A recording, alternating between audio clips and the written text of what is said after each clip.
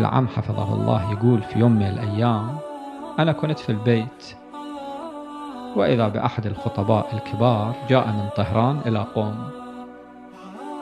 قلت له خيرا. قال أنا إجيت إلى قوم لأشتري بيتا ما عندي بيت. هذا الخطيب سنوات عمل كذا قاعدة يعني. حتى جمع ثروة ليشتري بها بيتا.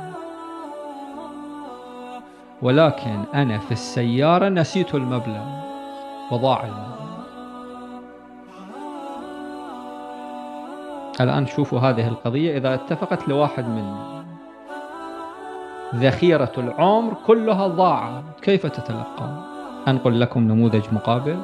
تاجر هذا بالكتب مكتوب خسر في تجارته. فكر أنا البيت اللي عندي الأثاث اللي عندي إلى متى أتمكن أعيش به؟ أبيع الأثاث شيئا فشيئا وأعيش. فكر فكر قدر إنه فكر وقدر. فكر أن هذا الأثاث اللي عنده والأشياء تتمكن أن تؤمن حياته إلى عامين كاملين. بعدين فكر بعد العامين شنو؟ أنا التاجر أذهب وأتكفف أجلس على قارعة الطرقات.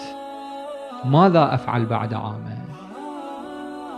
على أثر هذا التفكير الشيطاني هذا التاجر راح وانتحر. حتى بعد عاميا لا يتكفف. مو معلوم واحد إلى بكرة هو حي ميت. الله مغير الأحوال مبدل الأحوال.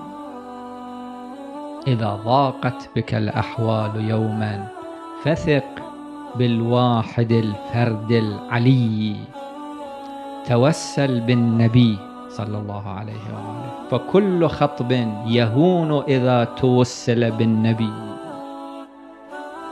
وكم أمر تساء به صباحا فتأتيك المسرة بالعشي. ليش تحمل هم المستقبل؟ عش في اللحظة الحاضرة. شنو يصير بعدين؟ الآن ماذا تفعل. الآن شنو وظيفتك؟ صلاة قوم صلي. نوم قوم نام. بكرة شنو يكون؟ من الكلمات المنقولة عن المسيح على نبينا وآله وعليه الصلاة والسلام على ما أتذكر. اللهم خبزنا كفافنا أعطنا اليوم. خبز اليوم فكر بي بكرة شنو؟ أنت إيش عليك بكرة. منو قال أكو بكرة؟ منو قال أكو غد هاي الصور الذهنية هي التي تخنقنا وتعصرنا وتحطم حياتنا وتجعل حياتنا مرة فأكبر جاني على الإنسان هو نفسه. هو الذي يحطم نفسه هو اللي يدمر نفسه هو اللي يشقي نفسه. جايين ثمانين عام في هذه الحياة ستين عام سبعين عام حتى نعبد الله ونذهب. حياتنا نقضيها بهذه الأفكار المتشائمة السوداوية. واحد يمشي في حياته يعبر ليتوقف يخطط طبعا. أما أنه يدمر حياته ويدمر أعصابه ويدمر زوجته. أكو بعض الأفراد يدمرون زوجاتهم أول ما يجي إلى البيت وجهه مكفهر. ما ذنب هذه المسكين المرأة أول ما زوجها يدخل تواجهه بالعبوس والكذب هاي الصور الذهنية هاي الحالات النفسية هي التي تدمر حياتنا وتشقينا. حتى بعد عامين ليذهب يتكفف. وبعد عامين انتحر. بعد ما الثروة انتهى انتهت روح انتحر. مثلا يعني إذا يريد ينتحر. أما لاحظوا هذا الخطيب العم حفظه الله يقول إجا وكأنه كل شيء ماكو. مضيع حصيلة العمر كل شيء كأنه لم يحدث شيء. هو ضاع هسه شنو؟